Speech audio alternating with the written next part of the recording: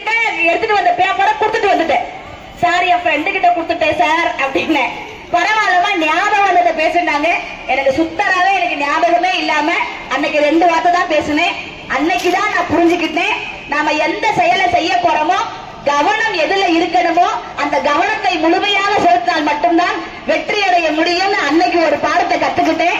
நம்மளுடைய கவனத்தை செதறாம நம்ம ஒரே நோக்கத்தோட நம்ம செயல்பட்டோம் சொன்னா நிச்சயமா நம்ம வாழ்க்கையில வெற்றி பெறலாம்.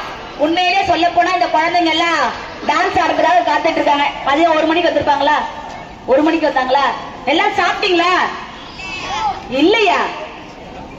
ஏமா உனக்கும் சாப்பாடு வாங்கி தரல அவங்களுக்கு சாப்பாடு வாங்கி தரல ஏமா வாங்கி கொடுத்துட்டாங்க. இந்த குழந்தைங்களை என்ன சாப்பிட வைக்காம ஒன்பது மணி வரைக்கும் உட்கார வச்சிருந்தா இந்த குழந்தைங்க பரிசு வாங்கும்போது எல்லாம் துவண்டே விழுந்துருவாங்க. உண்மையா இருக்காங்க?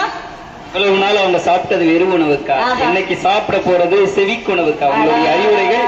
எங்களுடைய பிள்ளைகள் வந்து நாளைக்கு மிகப்பெரிய திருக்கோவிலூர் ஒரு அன்னலட்சுமி அப்படின்னு சொல்ற மாதிரி எங்க பிள்ளைகள் வருவாங்க. விடவே எல்லாம் பெரிய அளவே வருவாங்க. ஏன்னா இன்னைக்கு போட்டி நிறைந்த உலகமா இருக்கு.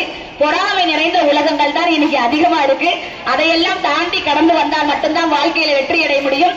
கலக்க போவது யாருல? நான் சீசன் ஃபைவ்ல நான் கலந்துக்கிட்டேன் சீசன் ஃபைவ்ல கலந்துக்கும் பொழுது அஞ்சாயிரம் பேர் ஆடிஷனுக்கு வந்தாங்க காலைல ஏழு மணிக்கு நான் போய் அப்ளிகேஷன் ஃபில் பண்ணேன் நைட்டு பதினொன்னே முக்காலுக்கு தான் நான் ஆடிஷனுக்கே நான் உள்ள போறேன்.